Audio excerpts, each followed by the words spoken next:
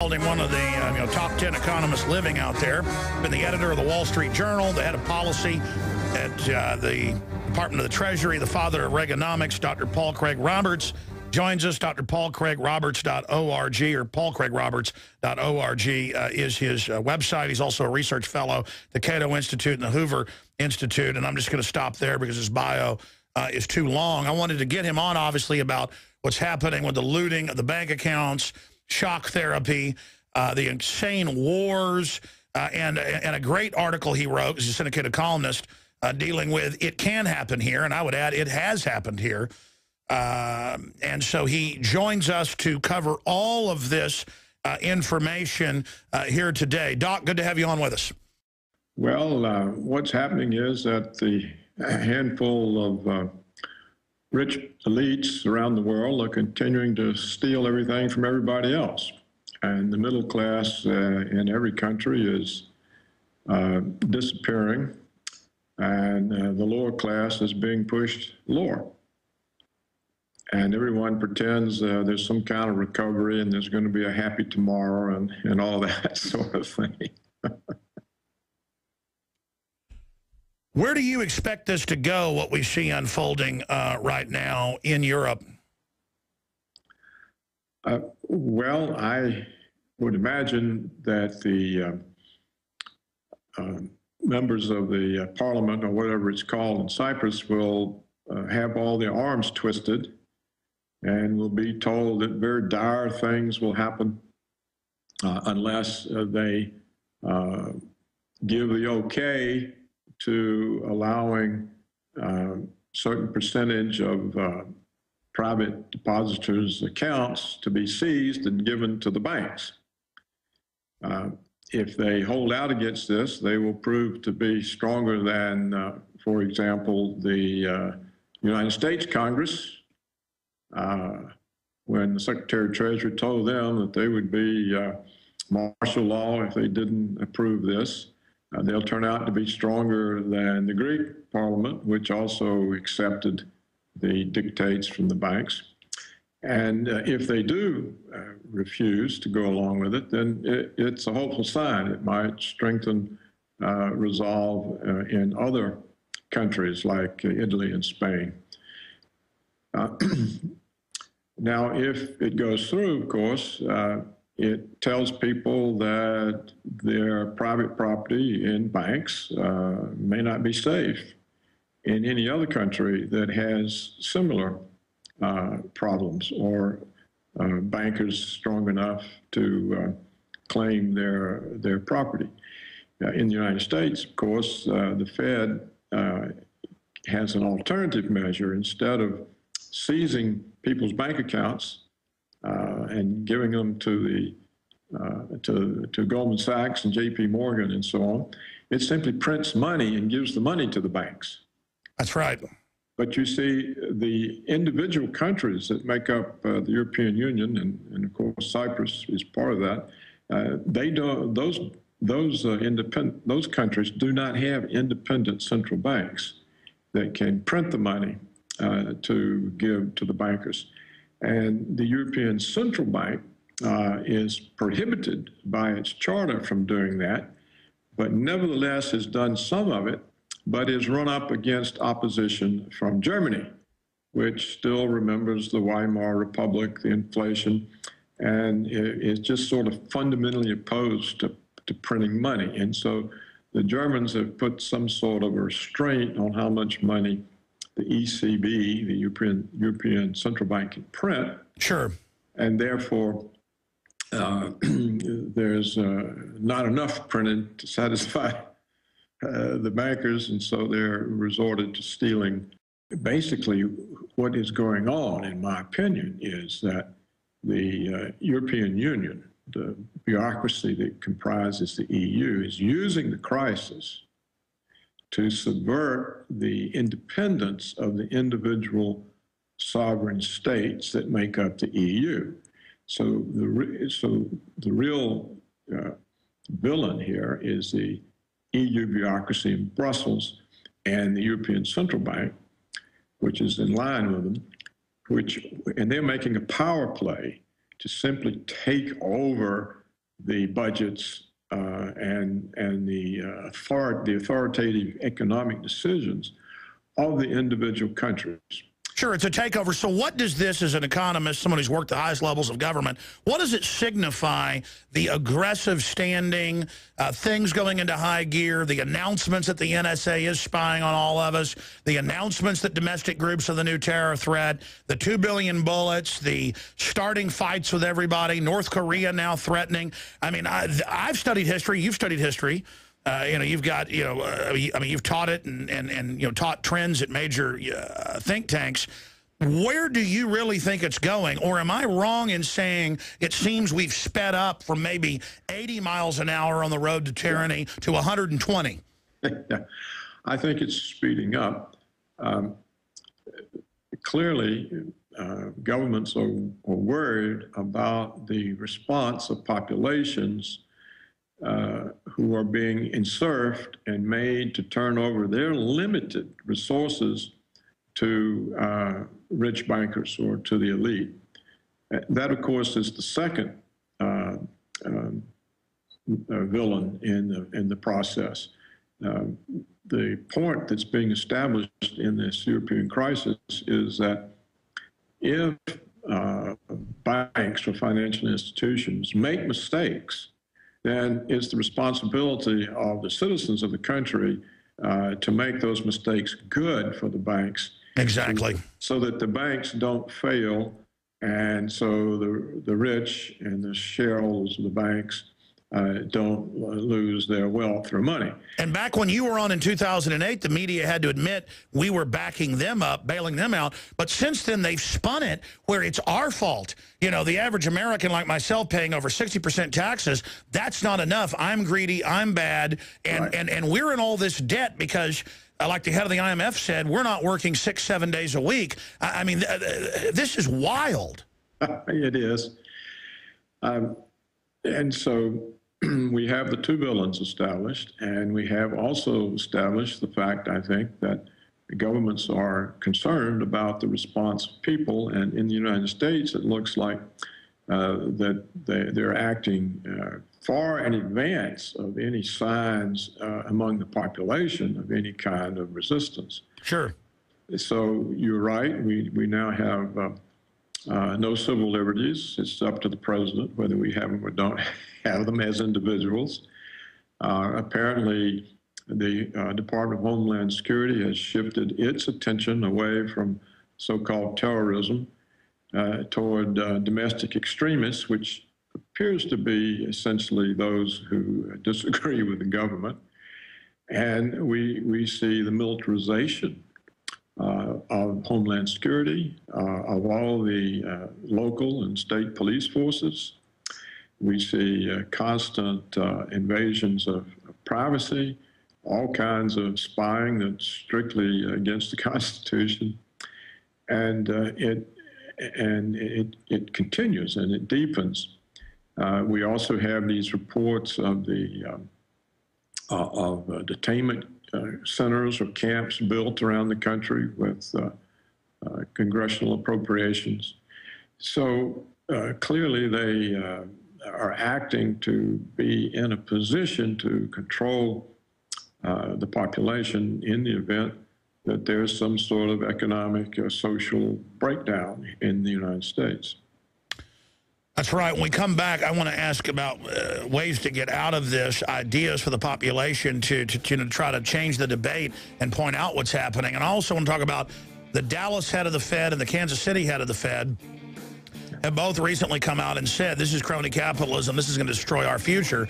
So is that a positive sign to hear them you know, agreeing with you, Dr. Roberts? So we'll uh, come back uh, after the break and uh, talk about that. I mean, I'm trying to find some silver linings here 14 members of Congress are now demanding Homeland Security answer their letters and questions about the 2 billion uh, rounds of bullets, the armored vehicles, the domestic checkpoints. Uh, the TSA is now making people that are double amputees basically crawl across the floor and take their prosthetic legs off. I mean, it's just... But then Saudi Arabians are exempt from the searches. I mean, that's mainstream news. It's just all about we're the terrorist. As we predicted they would do, they fully are flipping it now. But here was the question I was asking before the break for Dr uh, Paul Craig Roberts, who joins us. uh, uh, Feds Fisher, too big to fail banks are crony capitalists. That's Reuters. And uh, he goes on there to break down the fact that they are practitioners of crony capitalism and they need to be broken up and that it's going to destroy our future if we don't stop them. But again, they hold us hostage and threaten to bring us into total collapse, as you pointed out, Dr. Roberts, if we don't give in to them. But then we give in and things only get worse. And then their, their exit strategy, I guess, is martial law authoritarianism. But I don't think they're going to get away with it. I think they're crazy. Dr. Roberts. Well, uh, Alex, I don't think we count. And um, it's, it's very good that uh, two members of the Federal Reserve have spoken out.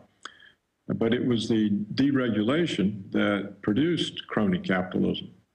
It was the deregulation that allowed the banks to consolidate and uh, purchase other banks and become uh, too big to fail.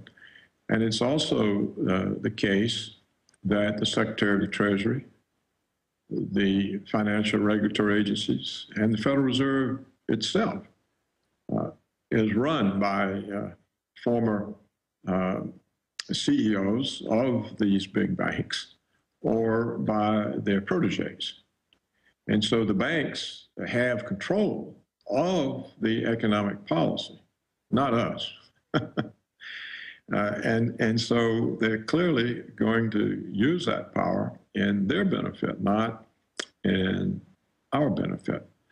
Now, one problem that the Federal Reserve faces in its policy of supporting the banks at all cost is that we now have three massive bubbles. We have a bond market bubble in which uh, bond prices are so high that real interest rates are negative in a situation in which the Fed is printing more than 1 trillion new dollars every year and the government is issuing more than 1 trillion in new debt every year. Well, that makes no sense to have have negative interest rates on bonds when you have massive debt monetization. So the bond market bubble is probably the biggest bubble in history. We also have a stock market bubble. Uh, all of the money that the Federal Reserve is pumping into the banks is not going out in loans. It's going into uh, uh, speculation on uh, stock market futures in various derivatives based on these futures, and that's bid up the stock market. It's not based on uh, uh, demand for products or retail sales. Retail sales have gone nowhere for years, not real retail sales.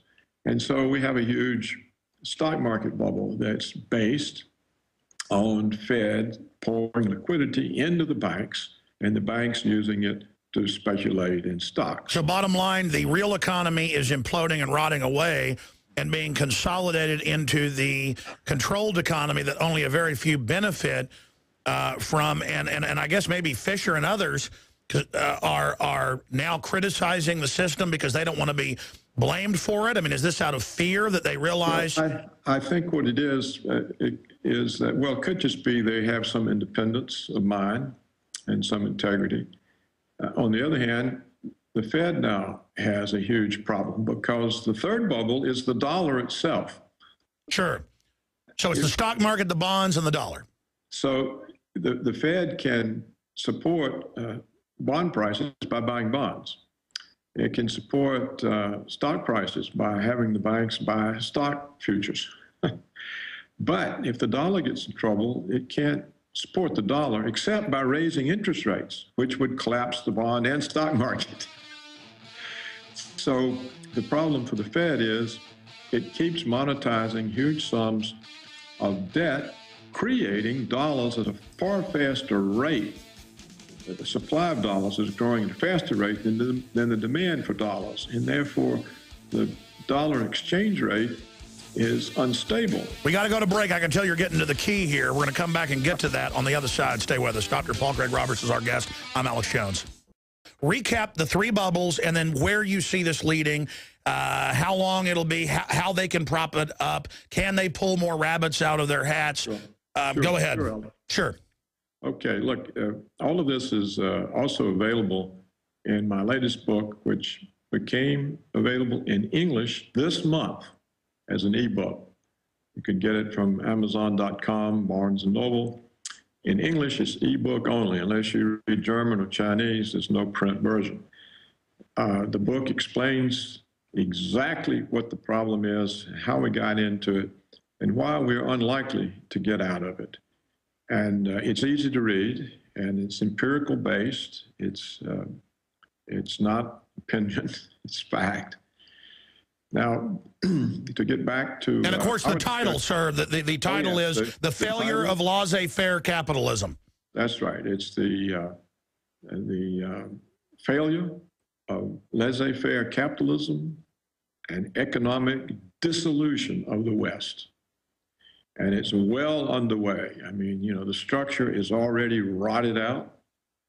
The manufacturing capability of the United States is is gone. It's moved offshore, and with it, as I also said would be the case, and as a uh, 20 professors at MIT uh, validated recently. When you lose the ability to make things, you also lose the ability, the ability to invent things.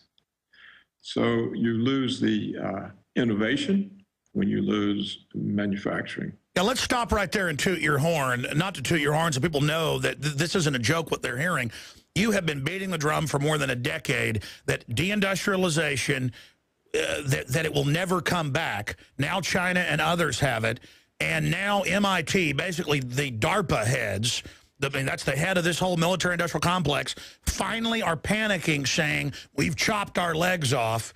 Uh, I, mean, this is insanity, and they're now absolutely concurring with you. That's right. And also, two years ago, the Nobel Prize winner in economics, Michael Spence, he also concurred with me that the United States economy is no longer capable of producing jobs that that produce uh, export products, uh, either goods or services. That we are now locked into uh, low-pay domestic service jobs. And so we, I, I've had this sort of vindication from uh, very uh, high-ranked, uh, independent uh, economists that I, I don't know or have any association with. Now, to get back to your question that we were discussing before the break, uh, there are three bubbles. We, I explained the bond and stock bubble. The dollar bubble is what is likely to undo the whole enterprise. What has saved the Fed so far is the fact that the Europeans are in crisis, largely one we made for them, and that keeps the euro in trouble. So, as long as there's no real alternative to the dollar, except for gold and silver, which the Fed caps the price by selling naked shorts in the paper market to stop the rise in price from the demand for the physical metal. So, so once the uh, dollar goes, and I don't know how quick or how slow it will be, but it will go. We already know that the BRICS, uh, large countries in Asia and uh, South America, and including Russia and China, India, South Africa, Brazil, they are making agreements to no longer use the dollar to settle their international trade accounts. This reduces the demand for dollar in the international markets. The Japanese and Chinese seem to be coming to the same agreement so that they will uh, deal with their trade in their own currencies. And that's called the move to the exits. what it, what it means is the demand for the dollar drops while the supply is pouring out. and so it's very hard for the price to stay where it is. And when the price of the dollar goes down, given that we are a, an import dependent country, importing all kinds of things that we're dependent on, prices will go up. And yet real incomes are not going up. So when the prices go up, everyone's real income goes down, consumer demand falls further, the economy sinks deeper, the deficits get bigger. So it's a perfect storm for which there are no solutions. So that's that's beyond stagflation, isn't it? Oh, much beyond. It's uh, what what the likelihood is is an inflationary depression. Which is the ultimate nightmare. ultimate nightmare for which there are no policy solutions. And of course, wasn't it believed until the 70s that even stagflation was artificial and couldn't be done? But now, in the Alice in Wonderland, is not a, isn't a, a, a, a hyperinflationary depression, has that ever even happened before? I don't think so. because you've never had this combination of, of events to produce it. Uh, most depressions uh, resulted from a collapse of the money supply or a collapse of the exchange rate of a currency. But you've never had a situation where you have uh, no basis for employment, but you've laid the basis for an explosion of prices by creating your currency at high rates while the demand for it is is falling. Wow, and then you, sir, you've got like three different populations. That's oversimplifying, but you've got a very hardworking lower middle class and upper middle class will work three, four jobs, have a high standard. You've kind of got a dilettante government and, and, and bureaucrat and, and, and pension fund, um, which people earned in many cases, but also these trust fund kids. And it's very popular to be mindless and, and, and be into being ignorant and to lay around all day. And then you've got the militarized uh, uh, groups out there. I mean, that just sounds like a nightmare to be in the well, middle of a population like that. What do you expect to happen when this thing starts imploding?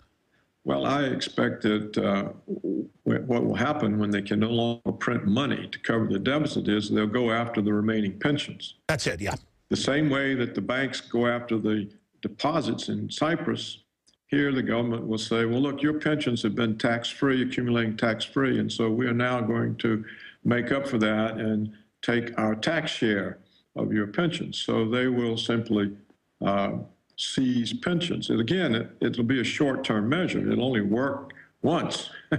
when they use the pension to finance the deficit, what do they do the next year? Just, they're going to run out of things to steal. And, and once that happens, uh, there's, no, there's no way they can stave off the crisis. So they don't want to talk about this, and they don't like uh, people who do talk about it because they're trying to keep it under control as long as they can. Would you call what's coming hyper stagflation? What would the name be for it? I think I would call it uh, an inflationary depression. So an Stag inflationary depression. I think that's what I would call it, yes. Now, people think that that's a contradiction in terms, that you can't have both, uh, but you can. And particularly with these types of conditions that have been put in place, which are unique. so, uh, you know, it doesn't do any good. We've, no, we've, we've known now for five or six years it doesn't do any good to run big deficits and print a lot of money when all the jobs are moved offshore. So uh, the spending doesn't call people back to work when there's no place for them to work. All right, well, let me ask you this question. let's say we've gone out to see a Shakespearean uh, play. There's a thousand people uh, in the theater. That thousand people represents people holding dollars worldwide, governments, institutions, you name it. Uh, how many people have gotten up and already left? Because, you know, people get up, a few leave, then all of a sudden more leave, and then suddenly, uh, you know, right before the end, half the people leave. And once half leave, you know, the bottom falls out and degenerates very quickly. What point have we gotten to uh, right now with people leaving uh, the, the theater? Because they are starting to leave the theater. Well, they've been leaving for 10 years. If you look at the sharp upturn in the price of gold and silver, during the Bush years and the first uh, year or two of Obama, before the Fed capped it by selling naked shorts. You can see the sharp rise up. So people are leaving. And the, the Fed is trying to break that up by capping the price by selling these naked shorts. I mean, who ever heard of shorting a bull market? No one shorts stock market when it's in a bull phase. No, you would, it's imp- you ride the market up but they've been shorting a rising gold market. And so it's clearly a control mechanism. Well, it's just you, you said over and over again, they are colluding uh, in Europe, and the United States, and Asia, uh, I mean, obviously, uh, on the uh, I don't think interest rates. Are, sure. I don't think the Asians are colluding at all. This thing they're watching. Well, I mean, at least in the fools, past, but I mean, they're watching these fools get rid of themselves. Sure, exactly. I mean, when I say Asia, I mean Japan. My point is, what does LIBOR illustrate for us? It's just another fixation of, uh, of interest rates. It was a minor one compared to the Fed. The Fed is the major fixer of interest rates. And what the banks were doing was just aiding the Fed. And that's why the Fed didn't do anything about it. They knew about it. It wasn't anything they didn't know about. Doc, let's shift gears. What do you make of our government putting al-Qaeda, real al-Qaeda in Libya and Syria, incredible mass murder, incredible war crimes, while separately saying now we've got to attack Syria because al-Qaeda's there. I mean, that is just a new level of Orwellianville. Uh, where do you see that going? I, I, mean, how do they get away with that? I, I think this is the Israel lobby forcing the senators like McCain and Levin to push Israel's agenda on to Obama. I, I think that's what it is. Clearly, if we if the Assad government loses in Syria, it will be taken over by extremists because the people who are fighting are the Islamicists. Uh, they're the ones who are opposed to the secular Assad government. They actually wear Al Qaeda uniforms. That's right. And so what we would be doing is simply putting Al Qaeda in charge. Now, this suits Israel because it breaks up the country. It'll leave the country in a constant state of uh, civil war, just like Libya is, just like Iraq is.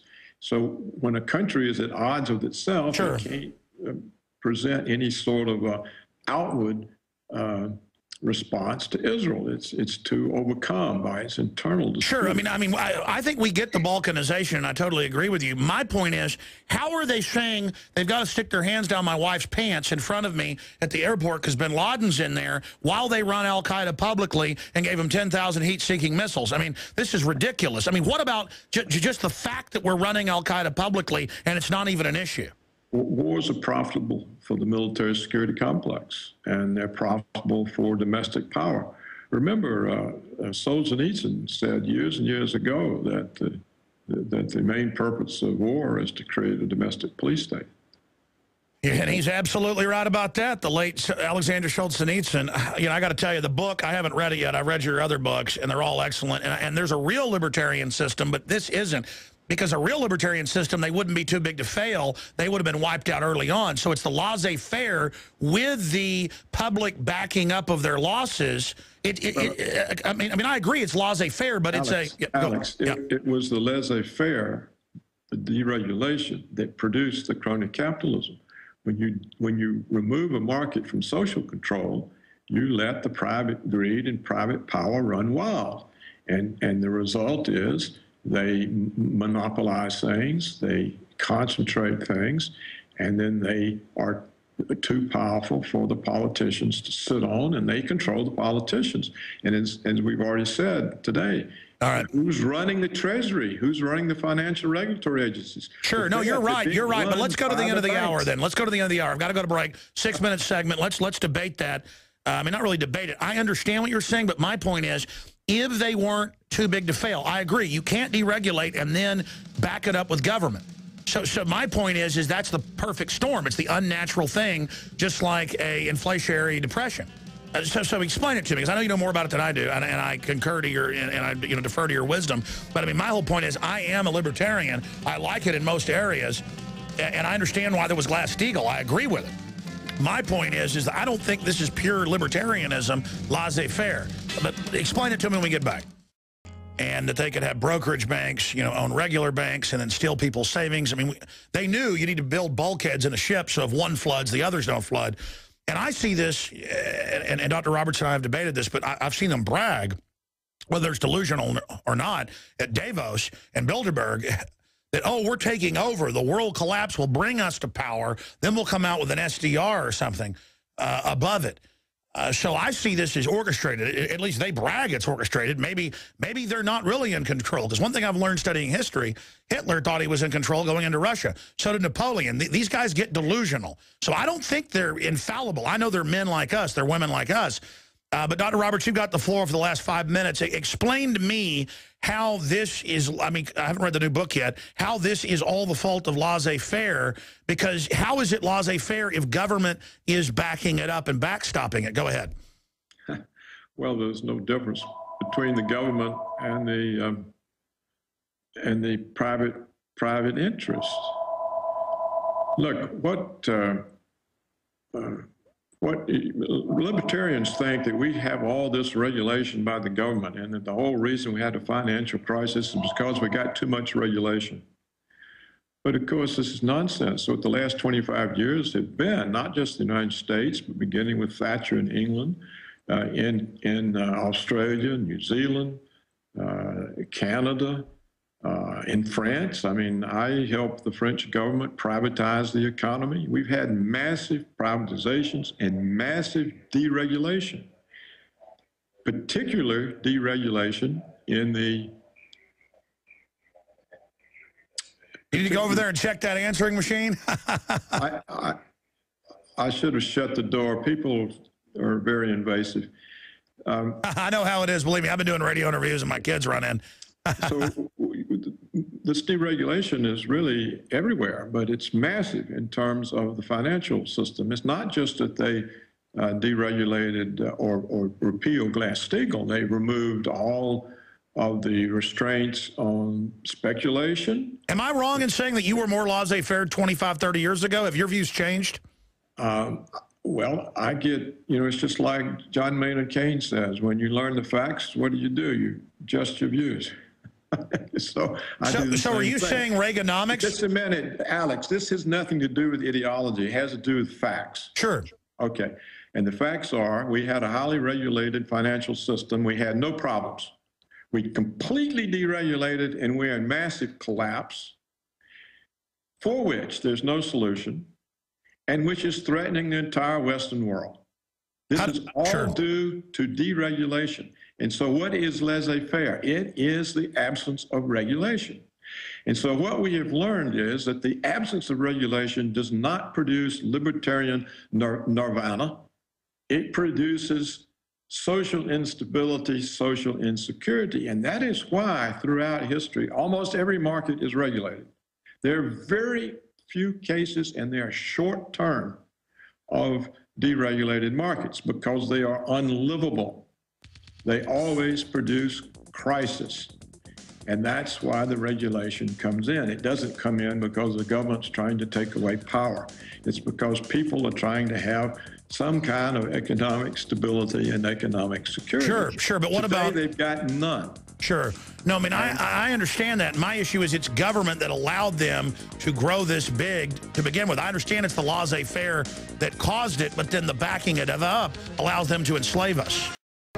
You know, we get Ron Paul on about once a month, and I really respect him. But I'm going to bring this up to him because he's laissez-faire, and he's going to say, but Alex, we backed up too big to fail. The regulators were controlled by the bankers, and they actually wouldn't let other competition come in. It wasn't real true deregulation.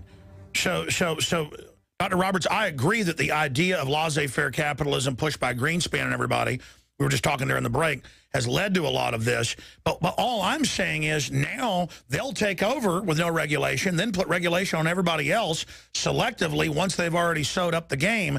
I mean, answer my question on that if you uh, can. I mean, I know you can, but give me your brief take on my question.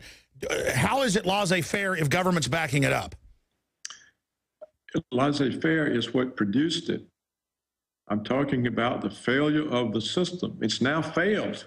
Yes, I get that. Okay, because you, remember, it was Greenspan and Rubin and uh, Arthur Levitt, the head of the SEC, and uh, Larry Summers, who went to Congress and prevented Brooksley Born from doing her job and regulating the derivatives. Remember that? Yes.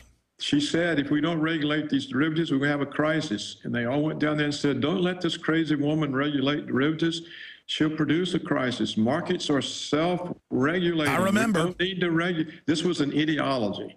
The ideology came out of the success of Reagan and the failure of the Soviet Union. And so everybody said, oh, well, it was Reagan, he was for free markets, the Soviets were for planning and regulation, and they failed, and we won, so let's don't have any regulation. That's right. You're kind of their guru, aren't you? It, just don't have any. And so they had done, they got rid of it progressively.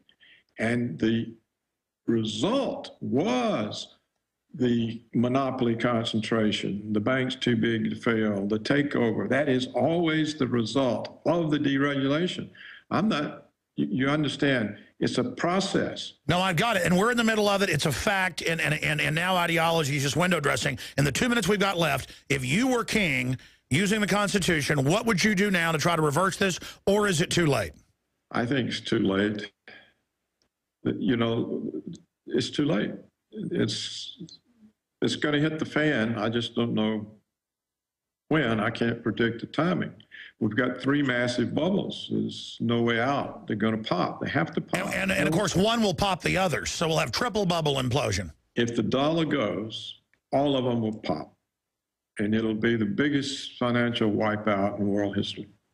And it will we won't be able to recover. The Chinese are not going to say, oh, here, let us rebuild your economy and give you everything back. Uh, they're in trouble too as well. I mean, they're they're barely. Uh, I mean, they're growing faster, but you know they got their own problems. Well, they have some problems, but they don't have ours. They don't. They're not monetizing a trillion dollars of debt every year. They're not printing money faster than. Sure, uh, sure. They're not going to be able, is what I'm saying, to help us. Uh, why would they help us? Exactly, you know, but even if they wanted to. We're, we're trying to surround them with military bases. We're going to cut the social welfare net because we don't have any money, but we've got plenty of money to attack Syria. Oh, yeah. and, and, and therein is their answers. The bankers are going to start World War III. Uh, the neocons, the, the Israel lobby, the bankers, the military security complex, they're going to start World War III. Yeah. But they won't be able to fight it very long because you, a nuclear, it'll go nuclear, and uh, you can't fight nuclear wars very long. And if it doesn't go nuclear, we'll go broke and not be able to wow. Wow. And you were there in the negotiation with the Soviets, everything. I mean, I cannot say how much you know, sir, and how much we appreciate you with us. And to hear you saying that when all my other experts are saying the same thing, I'm pretty smart. I see the same thing. I see government digging in like it's the end of the world. This doesn't look too good. they're, they're preparing to control us our response to all of the crises and mistakes that they are making. And so they obviously don't intend to correct them, or they wouldn't be putting in no, No, they don't. Uh, get the book the at Amazon. Get the book at Amazon. Doctor, thank you so much for the hour. Ask yourselves, what are you doing in this time of great challenge? What are you doing to unlock minds?